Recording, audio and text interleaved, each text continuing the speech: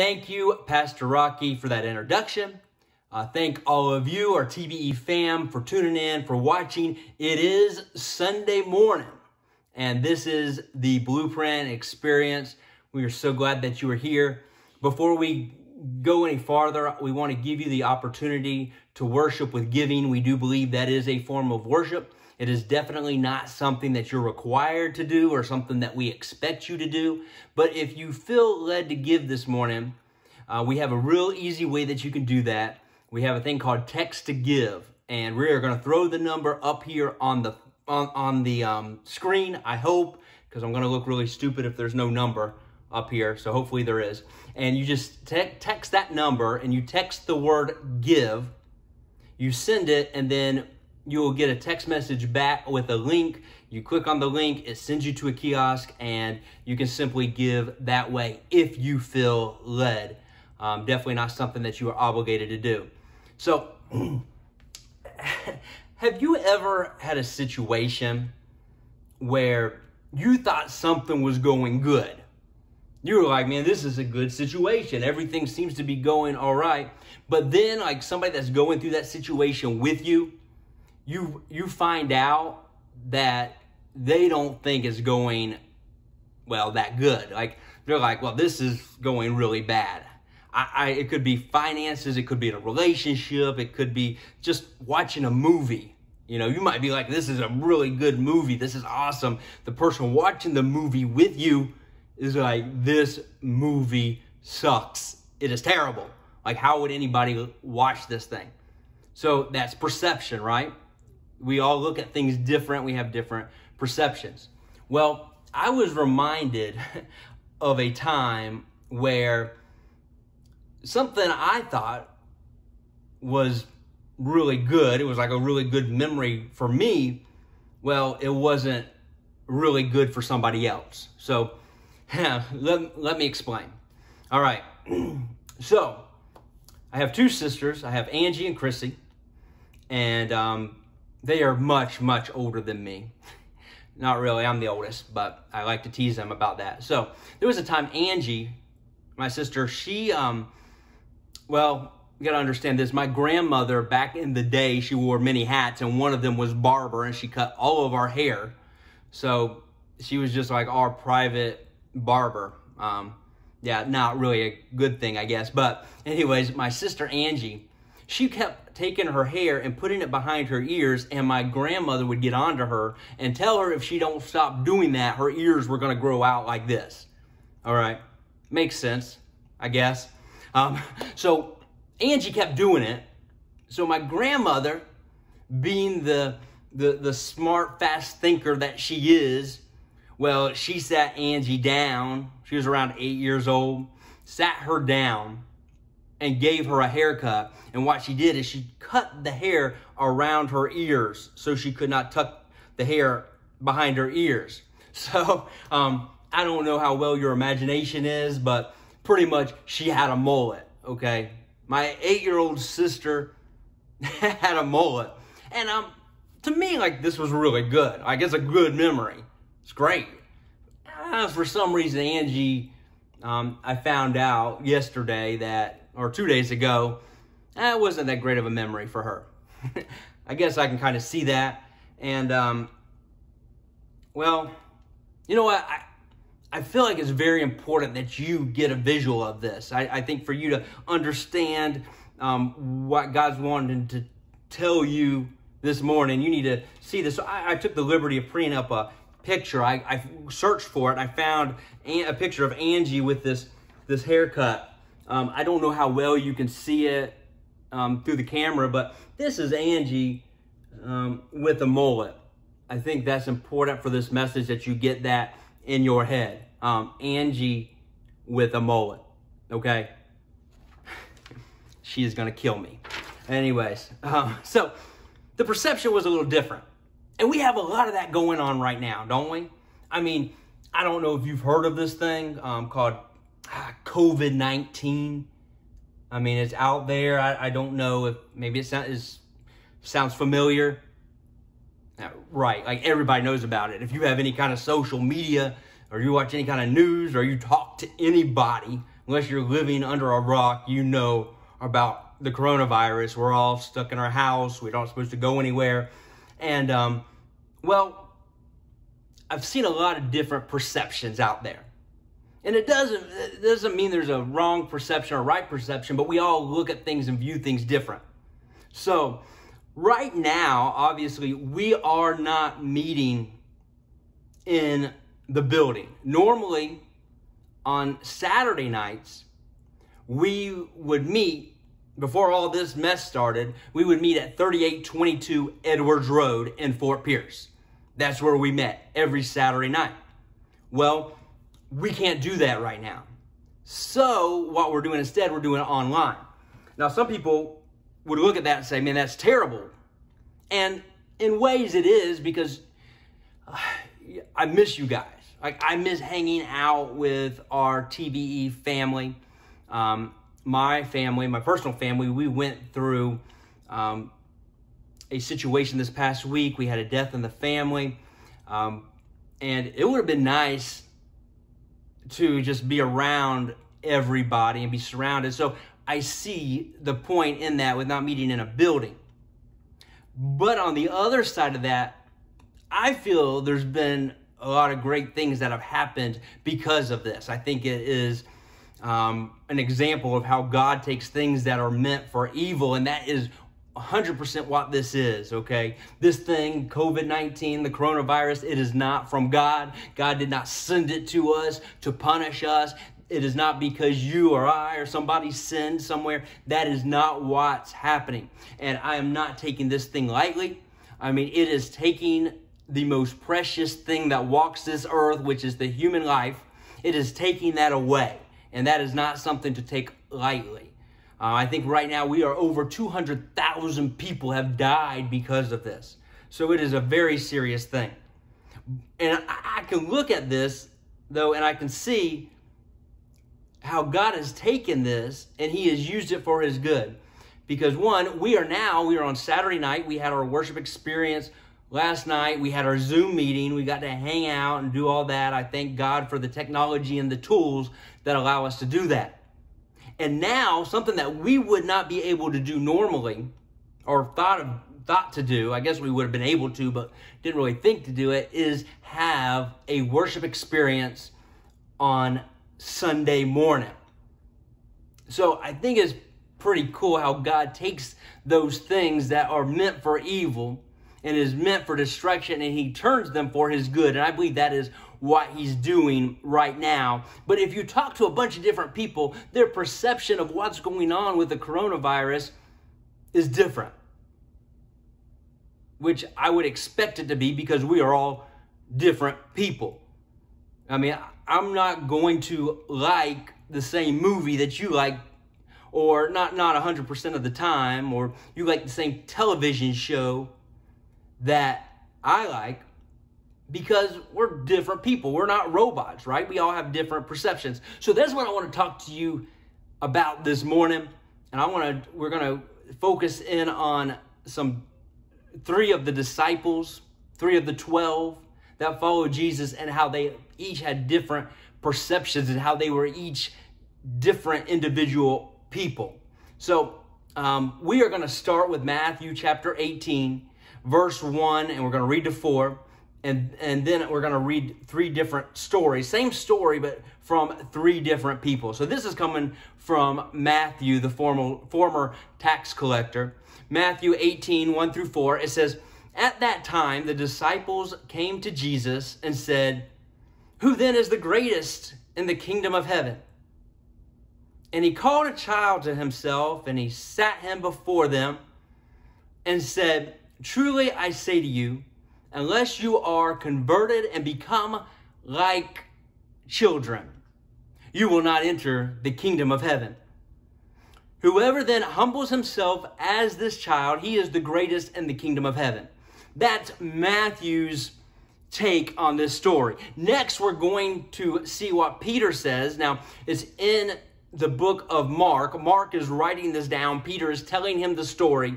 Mark is is um, typing it all well, of course, not typing it. I don't think, I mean, I'm not a history buff, but I don't think um, they had, you know, Apple computers back then. I mean, I don't know. Maybe it was like Tandy 1000s. You remember those? That was, oh my goodness. that just came to me. That was my first computer ever, a Tandy 1000. I thought we were big stuff back in the day. All right, so this is Peter. He's telling the story to Mark. Mark's writing this down on his Tandy 1000. Um, it says, They came to Capernaum, and when he was in the house, he began to question them. What were you discussing on the way? But they kept silent, for on the way they had discussed with one another which one is the greatest. Sitting down, he called the twelve and said to them, If anyone wants to be first, he shall be last of all and servant of all. Taking a child, he set him before them, and taking him in his arms, he said to them, Whoever receives one child like this in my name receives me. And whoever receives me does not receive me, but him who sent me. So that's Peter's take on this story. Now, the next we're going to go to Luke, Dr. Luke. We're going to see what the good doctor has to say about this same story. Luke chapter 9, verse 46 through 48, it says, An argument started among them as to which of them might be the greatest. But Jesus, knowing what they were thinking in their heart, took a child and stood him beside, beside him and said to them, Whoever receives this child in my name receives me, and whoever receives me receives him who sent me. For the one who is least among all of you, this is the one who is the greatest. So we're going to look into this in just a minute. Before we do, let's pray. Heavenly Father, I thank you so much for everybody that is watching, everybody that is looking at this video, whether it is on Sunday morning, whether it's live or whether it is 10 years from now, you have a reason, I believe, for them to watch this. It is not by an accident that they just uh, tuned in or just landed on this video, but you have something for them. And I hope, I pray that you help us all, all of us stubborn people to open up our minds, open up our hearts, and receive exactly what you have for us. I also thank you, Lord, that real men wear purple. And, of course, I thank you that not only Tom Brady, but also his tight end, Rob Gronkowski, is a Tampa Bay Buccaneer. We thank you so much for that. And all of God's people said, Amen.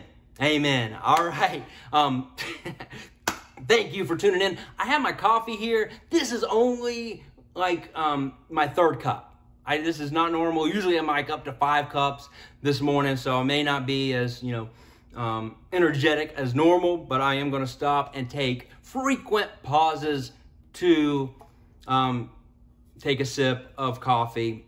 And, um, you know, that's what I'm going to do. And I'll probably announce it every time I do. That's good stuff.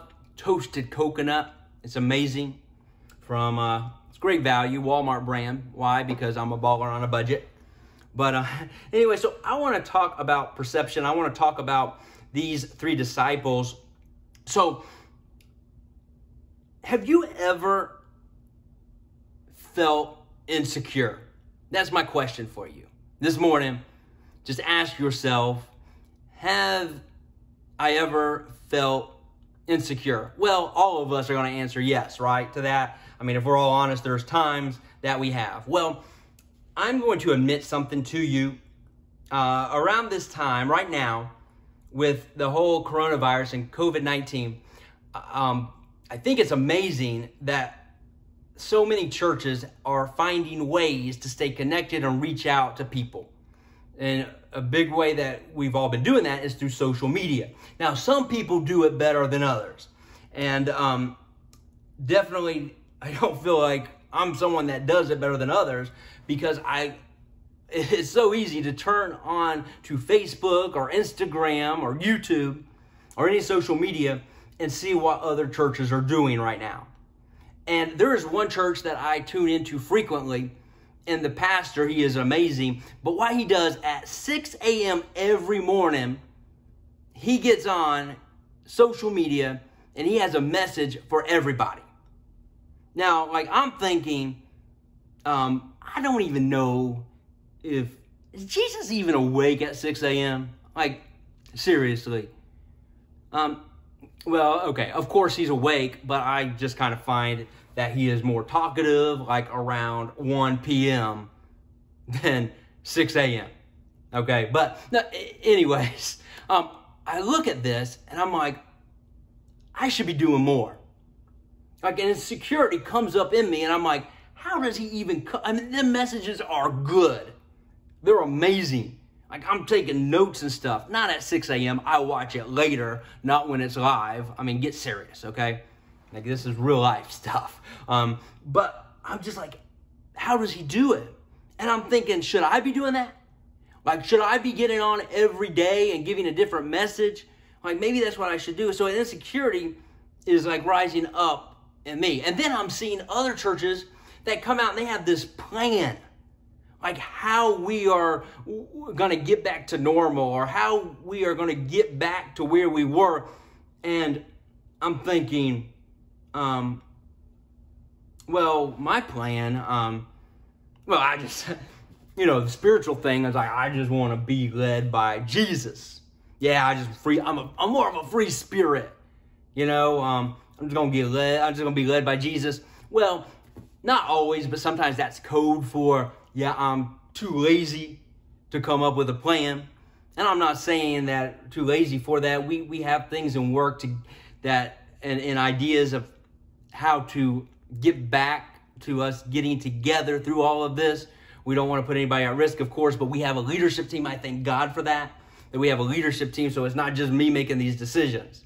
But I'm looking at all this and all these plans, they got it all charted out, and you can go on their website, you can look at it, and um, all of that stuff. And I'm just like, man, I just, you know, just if I could, I would just sit around and watch Fresh Prince of Bel Air and Saved by the Bell all day, like I did as a teenager. Like if I could. Of course, I can't do that. Um, been praying for that. Not really. Okay, not really. Um, Okay, so if you this is the first time you're ever watching this, just know like I make jokes, I just throw stuff out there, and that's when you know I'm really uncomfortable. Like you don't know what to say next, so he's trying to be funny. And um, if we were all together, what would happen? Our TBE fam, they know and they they love me, so they just kind of do this fake laugh, and I just you know I feel good about myself. So in my head right now, you guys are all just laughing, and I'm thinking that I am like um, at a comedy club, I guess. Anyways, and then like I saw something just the other day. Now this is something I don't normally see un, when, until like New Year's when people start coming out with their goals for the new year. But I saw somebody come out, a pastor, and um, amazing man of God, and he's like, I am going to go on a 40 day fast. That is what I'm doing. I'm going on a 40 day fast starting today. He announced it to everybody and I'm like, oh, 40 days of not eating, right? And I'm trying to justify to my head, I'm like, well, you know, I haven't watched basketball since Michael Jordan retired in 1999. Yes, I know he came back for a couple years with the Wizards. That don't count. We act like that didn't even happen, okay? That we pretend that Jordan was never a Wizard. Um, I mean, I haven't watched hockey. Like I've, if we're being honest, I've been like on a 41 year hockey fast. It's pretty impressive. I've never watched one game of hockey in my life. All right, nor do I plan to. I'm going to keep fasting hockey, you know, for Jesus. Okay, just because I don't like it. That's why. Um, I mean, I haven't played with Legos for a long time. Like it's been years since I, okay, days, right, minutes since I played with Legos. But I, am not going to play with Legos like while I'm doing this message. Um, uh, now, also like these different diets. So my wife, Julie, amazing woman. She's awesome, beautiful. Um, she's in the next room. So, of course, um, what I say about her here, because this is coming from our house, um, you know, it's very important that she stays happy today. But anyway, she's beautiful. She's an awesome woman. I love her. I'm so blessed. But she has decided to do this diet where she's gluten free. And I'm like, I have no idea what gluten really is. Like I've heard people talk about being gluten free. Like is I thought it was like a joke. I thought it was just something we, you know, gluten, no gluten. I, I had no idea. But she stuck to this gluten free diet. So now, like, we have all this weird stuff. Like, she sent me to the store the other day. I, I had to go in to Walmart and find gluten free bread. All right, come on. Now, I will say this. This is a time right now because everybody's buying up bread and buying up groceries. There was tons of the gluten-free stuff. It was like all there. Also, is because like a loaf of bread is like 10 bucks when you can buy a loaf of Wonder Bread for like a dollar. So um, there is that. So I got that. But like she stuck to this gluten-free thing and I'm like, well, I don't plan to eat ice cream like maybe until Thursday. Now we all know, come tonight when it gets late, like I'm I'm most likely gonna eat some ice cream tonight. Like most likely some butter pecan ice cream's coming out of the fridge. Okay. So, but I'm gonna like my plan is not till Thursday. You know, I'm definitely not gonna be gluten free. That's crazy talk. And we cannot afford $10 loaves of bread for both of us. So luxury only my wife gets. And I am not gonna tell her no. Okay. So, um, so I was told, I, re I remember being told back when I was in my 20s, they said, and I was talking to somebody about my insecurities, and they said, don't worry, it's not a big deal. The older you get, the less you will have those insecurities. Those insecurities will fade. Can I tell you right now, that dude lied to me because my, my insecurities definitely have not faded as I get older. But what is it about comparison? I think we all do it. We compare each other, you know, uh, do we measure up? Are we good enough? Are we smart enough? And right now, in this day and time, we have this like digital scoreboard that keeps track of our so- social status. It's called social media Facebook, Instagram, YouTube, um, Snapchat, all that stuff. It's like this social scoreboard. And we and it's easy to look at it and feel insecure. So my question again is, have you ever felt insecure? And maybe you're like, yeah, like right now, like every day, like every minute of every day. Maybe that's you. Um, well, I just want you to know that you are in good company because right here we have three disciples who obviously there is some insecurities going on. Okay, they are arguing about who's the greatest. If you don't have insecurities, you're not going to get into an argument or into a debate about somebody about who's the greatest or who does something better than you or you do something better than somebody else. You're not going you're not going to care if you don't have insecurities. But we have these disciples and they are arguing about who's the greatest. And I find it very interesting that we have documentation of not only their their insecurities but also their perceptions. And as they tell the story. So we're going to get into that. I'm going to take a sip of coffee. Mm. So good, so good. You got to get it. Toasted coconut is at Walmart. Great value brand. Um, we they they don't even sponsor us. Wouldn't that be great? Like we were sponsored by Walmart, and um, I, I, don't know if our leaders would, would our leaders would y'all accept that? I mean, I would push for it. Like, yeah, it's good. We can just do this. All right, so here we go. We got we're gonna start with Matthew. Now, Matthew, he is a former tax collector. Just to give you a little information about tax collectors, they were Jewish, but they, by, the Jewish people did not look at them as being Jewish. They were considered traitors. They were employed by the Roman government. They would go in and collect taxes, which pretty much just made up in their head, or made, the Roman government would tell them they would go collect taxes from the Jewish people. And then they would take that money to the Roman government. They would give the tax collectors a cut. They were pretty wealthy people.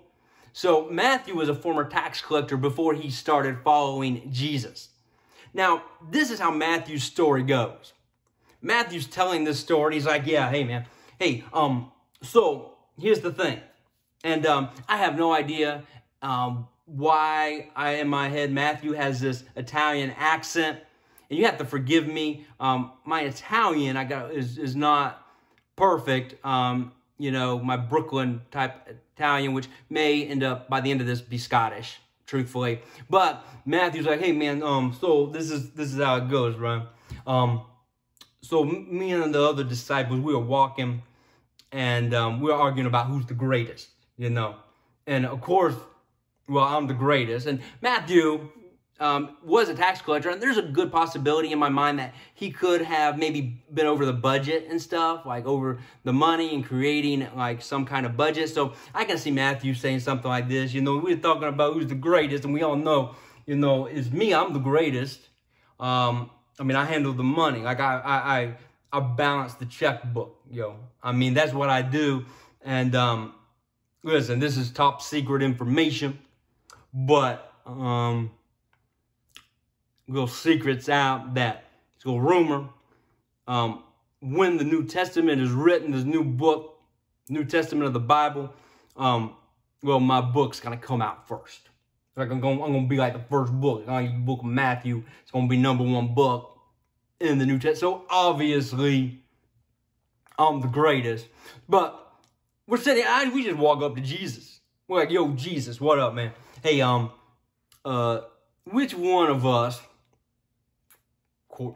is the greatest. Now this, check this out. This is what Jesus does. Tip, So classic Jesus. Jesus, he looks for a child. There was a child walking around. There were a bunch of children, but there was this one child. There's a guy, here's a boy. His name was Tony, I believe. His name was Tony. He said, like, hey, Tony, come over here. He called him. He called the child. He brought the child over and he said, hey, um, unless you uh, become like this child, you'll not enter the kingdom of God. You got to humble yourself as this child. So that's what he said. So that's Matthew's story of this. That's Matthew talking about this. He says that they just walked up and they asked Jesus, who's the greatest? And then Jesus called a child. That's Matthew, the former tax collector. Um, and just for the record, he was a tax collector in the town where they were going to, Capernaum. All right, so that's Matthew's story. Now let's get to Peter. Let's get to the apostle Peter. He's telling this story to Mark. Gonna drink some coffee. And um, so here's Peter's story. He don't say anything about the disciples walking up to Jesus and asking. Peter's more like this. He's telling the story. He's like, so, all right, guys, we um, this is what happened. Okay, we went on this, we started traveling, and we ended up in Capernaum. By the way, my hometown. Okay. And um, where were we staying? We were staying at my house. Yeah, that Jesus, all the other disciples, like, they were all, I was like, hey guys, come hang out at my house. Now, listen, some people's gonna say it's my mother-in-law's house. Like some people argue about that. It's not my mother-in-law's house, guys. It's my house, Peter's house. I mean, like, yeah, my mother-in-law stays with us. Like, she has a room. Oh, yeah, it's the master. I'm just being a nice guy, you know. Um, but if, you know, if I wanted her out, if I wanted to kick her out, she'd be gone. My house, okay? Not my mother-in-law's house. So get that out of your mind. We're staying at my house. And we get there. Well, all of us disciples were discussing this thing. What were we discussing? Um, well, we were discussing who's the greatest. We were talking about it, you know, and um, Matthew, he thought he was the greatest because, oh yeah, he handles the budget. He handles the checkbook. Like, this is Jesus. This is the Son of God. Like, I mean, he is taking fish and loaves of bread and multiplying it in his hands, okay? He's turning water into wine. Like, how hard is it to be like the money guy, the budget guy for Jesus? I mean, come on. Does he really, does Jesus really need one? Like, we just let Matthew think he's important. But he's like all talking about how he's the greatest, and we're all discussing this. Well, Jesus calls us out on this. Like, Jesus, he, he knows what we're talking about. So he asks us, he's like, hey, hey guys, hey, um, what are you talking about? Oh my goodness, Peter, like, what did y'all do? Like, what, when Jesus called you on this and y'all talking about, what did you do? Dude, truthfully, man, we just ignored it. Like, we were just like, he's like, what are you guys talking about? We just like pretended to do something else. We were like, um, I, we just kind of looked the other way, and he's like, Jesus like, hey, God, what, what are you talking about? No, nothing, no. But he knew, like Jesus knew what we were talking about. Like this is Jesus. Like we don't keep anything from him. Okay, so he called us on this, and he's like, you guys talking about who's the greatest, aren't you? What? What? Jesus, what do you think we're talking about? That? Like, who? who's the great? She's like, yeah, yeah, that's what you guys are talking about.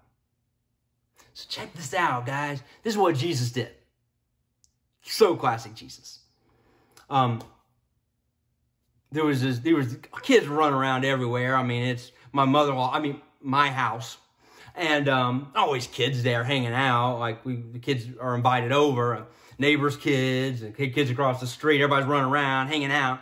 Well, Jesus, a kid runs by Jesus, this boy. Jesus takes him and he puts him in front of him and he wraps his arms around this kid. Man, it was emotional, man. I mean, he like Jesus is hugging this kid, okay? And he's like, hey guys, um, whoever receives one child like this in my name receives me. And whoever receives me does not receive me, but him who sent me. That's what he said. That's what he took him in his arms. So Peter don't say anything about them asking. Actually, Peter says the opposite. He says, he, he didn't say they went up, like Matthew said, they went up and asked Jesus. Peter's like, we just avoided the question. Like we didn't talk about it at all. Jesus called us on it. That's what Peter's saying. Okay, so Matthew said they asked. Peter says they, well, they pretty much avoided it. So let's look at the very intelligent, distinguished Dr. Luke and what he says. So Dr. Luke is telling this story, Luke chapter 9, verse starting with verse 46. And he's like, yo, man, we were walking to Capernaum. And this argument started. Like, okay, first, I mean, I'm a doctor, like I'm a physician, okay? I don't normally get into arguments, but I heard the disciples and like Matthew was all like, I'm the greatest because I handle the money. Pfft, okay.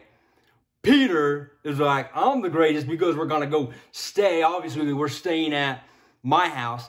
Dude, we all know that ain't your house, Peter. That is your mother-in-law's house. Like, we all know that. You're not fooling anybody. Just admit it, okay? You're staying with your wife's mama. So, that whole greatest thing, it just kind of got to me. So, yeah, I'll admit it. I joined in with this argument. And we're arguing back and forth about who's the greatest. Okay? Now, Jesus, he notices, I mean, we were being pretty loud. Obviously, he noticed. I don't know, like, why we were being so loud. Maybe we just forgot Jesus was walking with us. I mean, I don't know. We just kind of lost our mind. And um, so Jesus, knowing what we're thinking in our hearts and knowing what's going on. Well, he took this child. This child just came out of nowhere. Jesus took him. He stands him right beside him. And he says, Whoever receives this child in my name receives me. And whoever receives me receives him who sent me. For the one who is least among all of you, this is the one who is the greatest. So right now, we have three different disciples. We have Matthew, former tax collector. We have Peter, hot-headed Peter, you know, um, saying we just avoided it. And then we have Luke, Dr. Luke, who says, yo, man, we were arguing, like big time. Like we were going at it, like yelling and might have been some pushing and shoving. I, we just were arguing. Jesus was right there. We lost our mind. Now, a lot of people would look at this and say, yep, see, right there. yeah, um, Bible's inconsistent. These guys are telling the same story, and it's obviously it's different. Inconsistency. Well, that's not what's happening. What we're getting is different perspectives of what's going on, but each one of these perspectives is showing one thing, and that is that they all three have this insecurity, and they're talking about who is the greatest. Now, I want to point out that we all, each one of us, it's really it's messed up that we get in this comparison thing because really is no comparison because what my assignment is is going to be different than what your assignment is. You're going to see things a little different than I do. So here we have Matthew, former tax collector. His assignment here is to write to the Jewish people. That's what he's writing to. And he is writing and he is being direct. We just walked up to him and asked. Then, now Peter, so for all of you that are like me and you're avoiders and you're emotionally unstable, um, like me, well, Mark is your gospel, is your book, the book of Mark. Because Peter's saying here, he's like, yeah, we just avoided the question. Jesus called us on it, we avoided it. Then you got Dr. Luke, who his assignment, well, pretty much is to write in street Greek. And um, he is saying, well, we argued. We flat out, I'm not denying it. Yeah, we were arguing about it. So we got three people, different perspectives, but still dealing with their insecurities. So I'm going to talk about three different types of people. And I feel like if we're all being honest and we're opening up our minds and our hearts, we will find ourselves in at least one of these people. So first we have Matthew. And Matthew is the asker. We just went up to Jesus. We just asked him. We were just direct. So here's how the asker kind of works. Hey, man. Hey, what's up, bro? I, I thought we were best friends. Like, I really thought, like, we were best friends, but honestly, I've been thinking about this and, like, you're never there for me. Seriously. Like, I'm always there for you, and you are, let's just face it, you were never there for me. I mean, you never return my phone calls. I mean, and quite frankly, you never like my pictures on Facebook. I don't know how to bring this up, but okay, yes, I do. I'm just going to say, like, you don't even follow me on Instagram. Dude, do you even know I'm on Snapchat? I bet you don't. I bet you don't. I thought we were friends, man. So here's my question Are we best friends? Simple question. Just give me a simple answer yes or no. Are we best friends? Because I've been noticing, I've been keeping track of this. Like last week, well, you spent six hours and 53 minutes with Tanya. And then you only spent six hours and 22 minutes with me. So, my question are we or are we not best friends? Let me know. Yes or no? Come on. That's what an asker does. Direct. Maybe you are someone that's direct. Maybe you know somebody that's direct. But that's Matthew.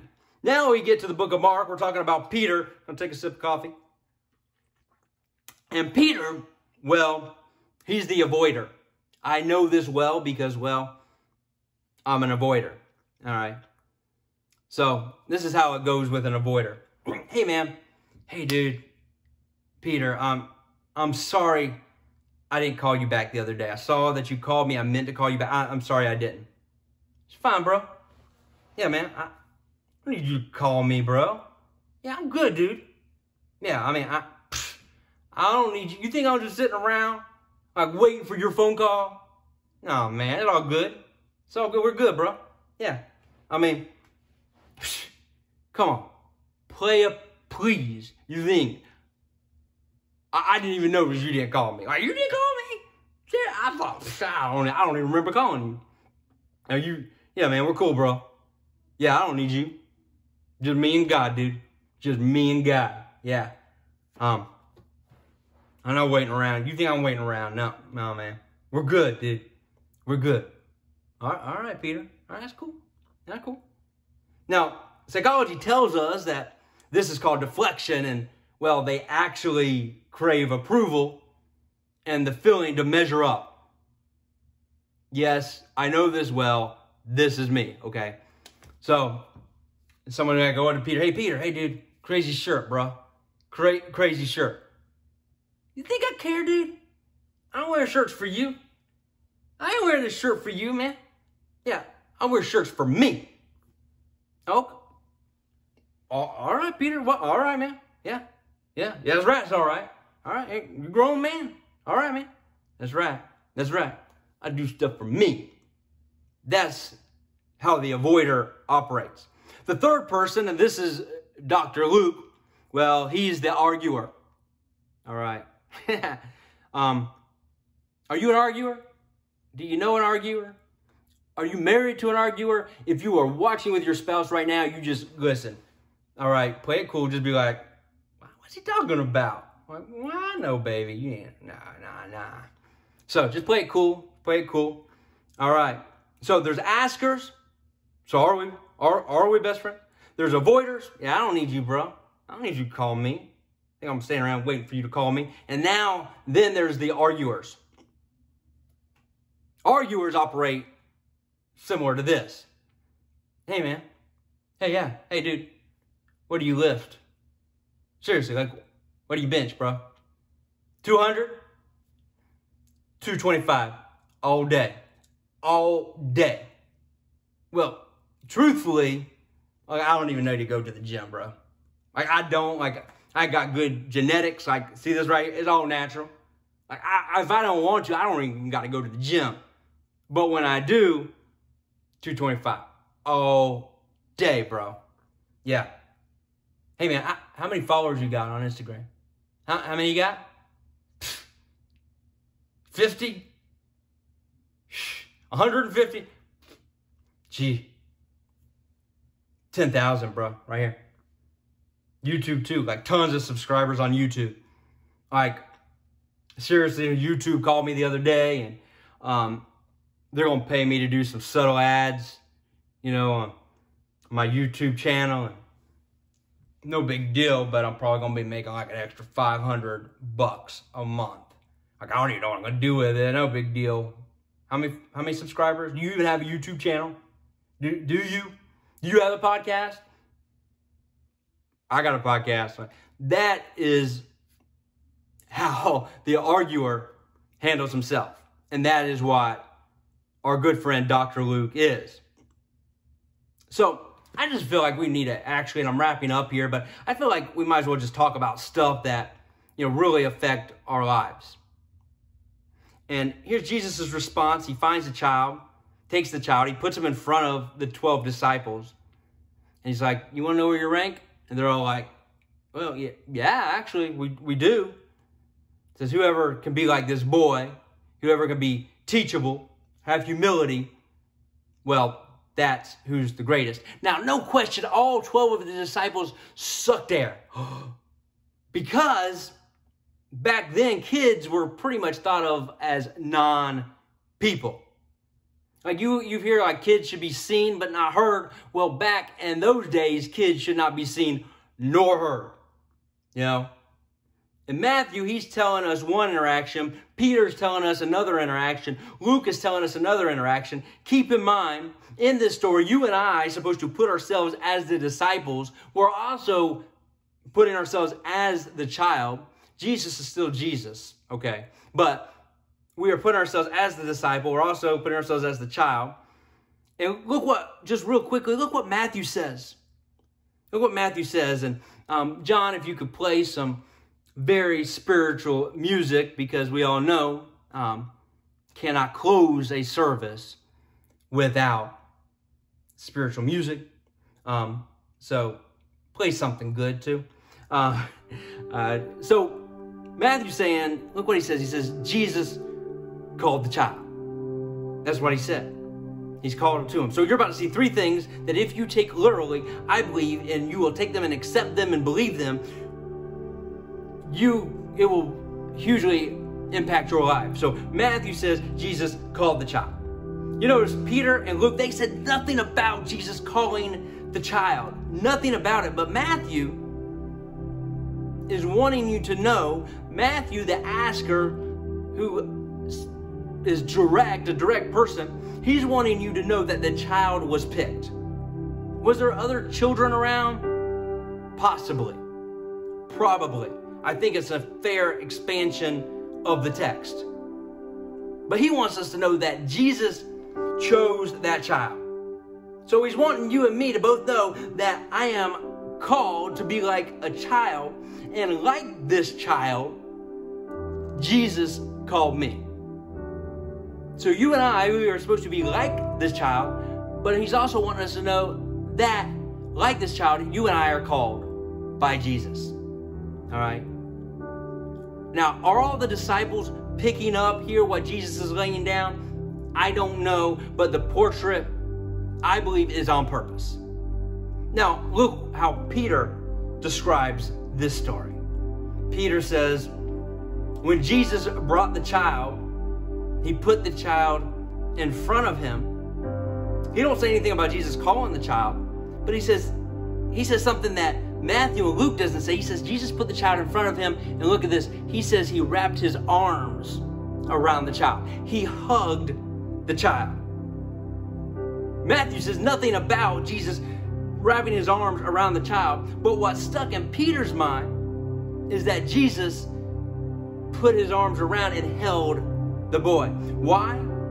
Because you know what avoiders need? A hug a hug. And I remember as a teenager, my mom would come in and I would be, I just would get mad. I'm a teenager. I'm getting mad over, I don't even know why I was mad. And I'd get mad. I'd just come home, I'd slam the refrigerator. Like, we don't got any food. Like, there's tons of food, but I'm like, we don't have any food. What's up with this crap? Blah, blah, blah, whatever. My mom would come in. She would not get in an argument with me. She would just wrap her arms around me she would give me a kiss, and I'm like, stop it, mom. I'm like 17 years old, man. And I wouldn't hug my mom back at first, and she would just wrap her arms around and just hug me tight. And she was pretty much just saying, well, I'm going to hug you until you let me hug you. And that's what my mom did.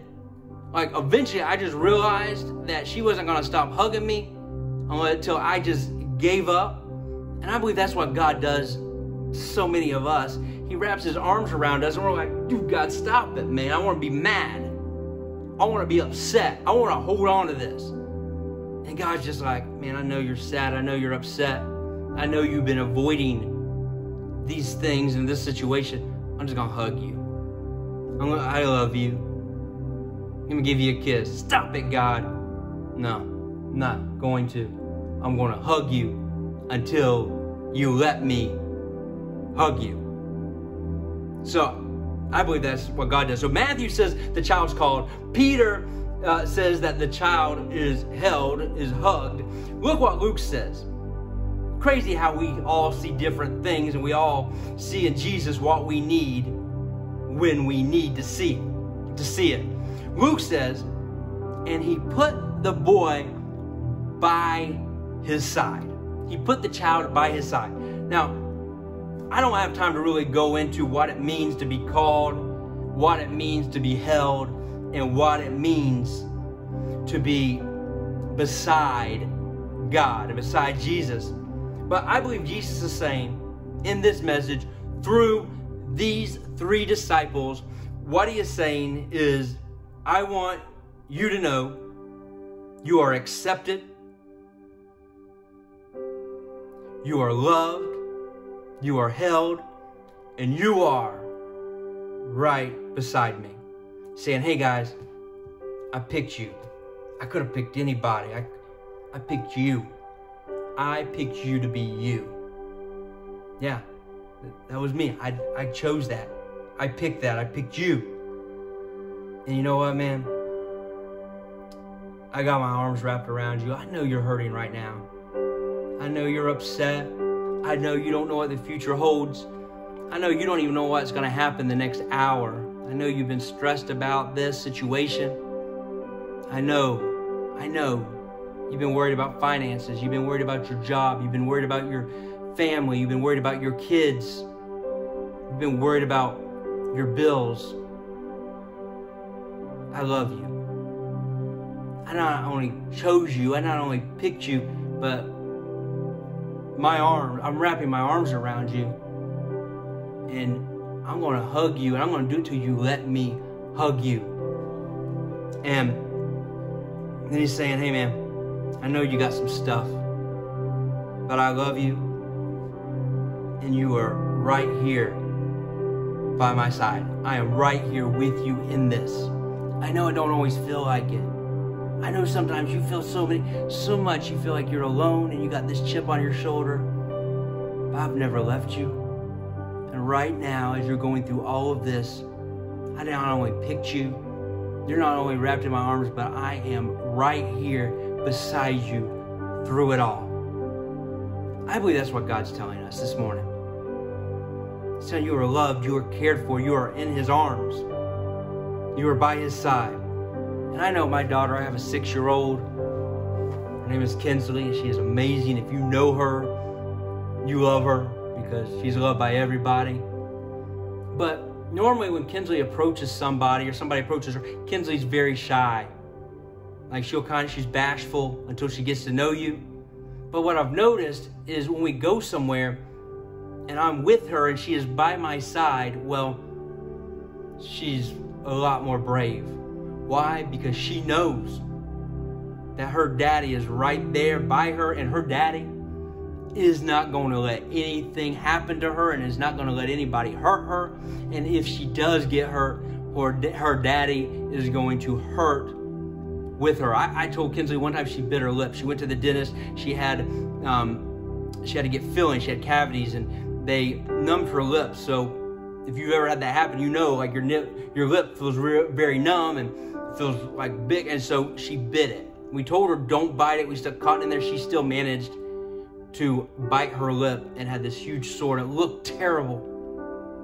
And I remember looking at Kinsley and I said, "Baby, I'm so sorry." I said, "If your daddy could take that sore from your lip and put it on my lip, I would."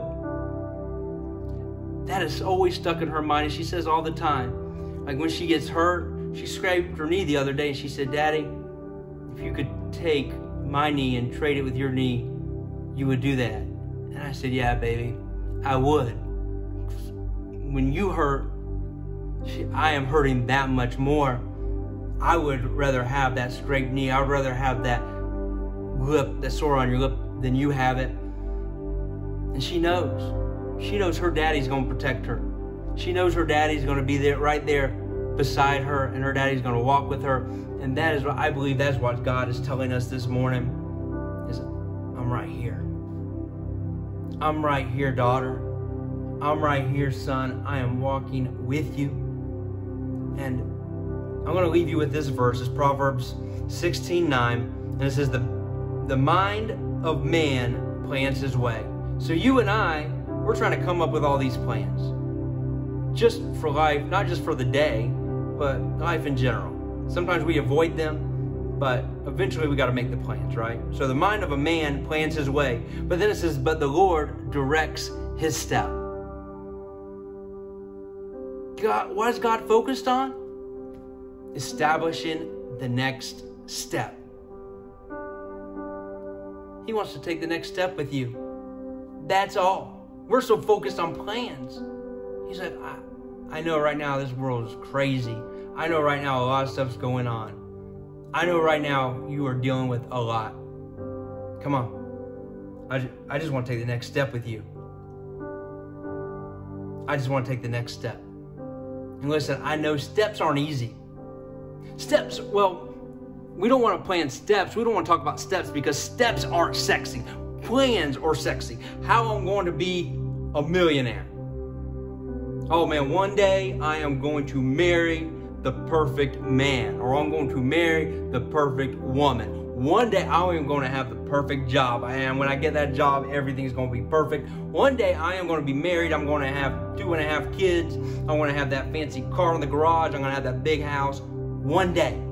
That's what we want to talk about one day. And I believe God this morning is saying, dude, forget about one day. Because right now, all I'm focused on, all I want to do, I want to take the next step with you. All right, God, well, what what happens? Okay, we take the next step. What what happens next after we take the next step? Then I take the next step with you. All right, God, but how about after that? I take the next step with you. Come on. Come on, man. Just just enjoy the step. Right now, I don't know who you are. I don't know who I'm talking about. But I know this that God is telling you, and you know who you are. You can feel it. You just feel that tug. God saying, I'm talking about you, man. I'm talking about you, daughter. I'm this this is for you. He's saying, come on. Let's take the next step. What is that for you? I don't know. Maybe it's picking up the phone and saying, hey, hey, dad, I forgive you. Yeah, I, I forgive you. I for, for what I, I forgive you. Maybe it's the next step is just saying, I know I haven't said it in a long time. Maybe it's what saying to your husband or to your wife, I haven't said it in a long time, but I just, the next step is just you saying, I still love you. I know we've been arguing. I know we've we've gotten mad at each other and we've thrown up the, the divorce word. We've thrown up the big D word out there. We've talked about it. Like the kids just, they don't even know what to do because we're arguing so much. I just want you to know I still love you. Maybe that's the next step. Maybe it, it's not going to be easy. Steps aren't always easy. But God's saying, take that next step. What is the next step look for you? Maybe it's just getting out of your pajamas you've been wearing for the last five days. But what is the next step? Whatever it is, can I tell you, God is wanting to take it with you. Let's just take the next step. Come on. Let's just step. So if that's you tonight and you're getting that tug, or this morning, um, just know He's there. You've been called. He has His arms wrapped around you. You are by His side. He is standing there with you, and He is ready to make the next step. With you, you are not alone. He is there. And now, if you're watching this and you're like, this is like a foreign language, like you might as well be talking Chinese. Like, I don't even know. I don't even know why I'm still watching this. Um, like, I don't even understand it. Like, I, I, maybe you don't have a personal relationship with Jesus. That can change right now. It is not a very complex thing. You don't got to get up and do a circle and raise your hand or call me or give any money. You don't have to do any of that stuff. It's just simply saying, Jesus, I believe in you. I confess you are Lord. You are my Savior. You died on the cross. And when He died on the cross, He switched places with you. It's not about, well, Jimmy, you don't know what I've done.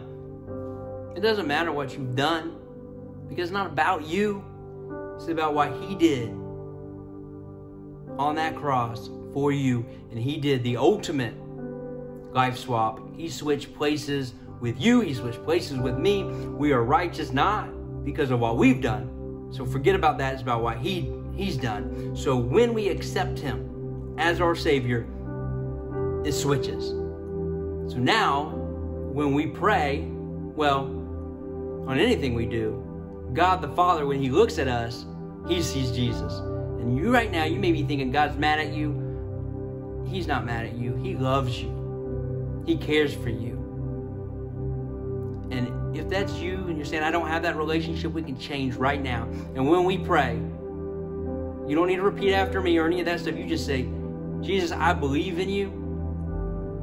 You are God. You are my Savior. Thank you for what you've done. Forgive me for my sins. It's going to be like you never even did it. Like they're just forgotten about. It's, it's so awesome. You're like, it's too good to be true. No, that's, that's the gospel. That's Jesus. So let's pray. Heavenly Father, I thank you again for this time that we can all get together. I thank you for the tools that have taken place. And I thank you for everybody that's watching. And God, the person that is saying right now, they're saying, I don't I do not have a personal relationship with you. right now as they're asking for forgiveness, as they're saying, I believe in you, as they're saying, You are my Savior, you are God. Right now, you are taking the place of you are swapping places with them. You are forgetting about their sins. They are gone, they are wiped away. And now, when God the Father looks at them, he sees his son, he sees Jesus. And it's amazing. I thank you for that. I thank you for those that right now they are becoming new creatures in Christ. They are becoming a new person. I thank you for that. Lord, I'm praying for the person right now that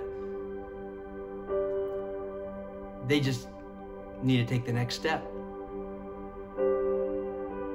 They need to stop with all the plans or what tomorrow holds and you're just wanting to take the next step with them. And I pray that you just help them to realize that they are called, that your arms are wrapped around them, and you are right there by their side, and you are not leaving, and you are ready to make the next step with them. And after that step, you're going to make the next step, and the next step, and the next step. And I thank you for that. I thank you.